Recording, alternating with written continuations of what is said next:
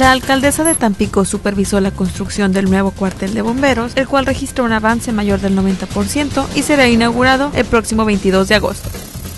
40 empresas tamaulipecas con más de 200 productos estarán participando en la Feria de Proveedores del 17 de agosto al 17 de septiembre.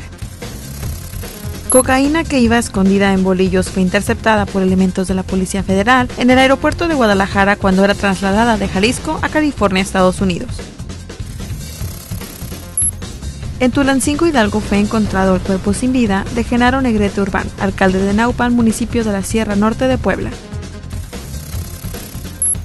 El gobierno de Donald Trump está evaluando limitar la migración legal hacia los Estados Unidos, imponiendo más obstáculos para otorgar permisos de trabajo y estatus de ciudadanía.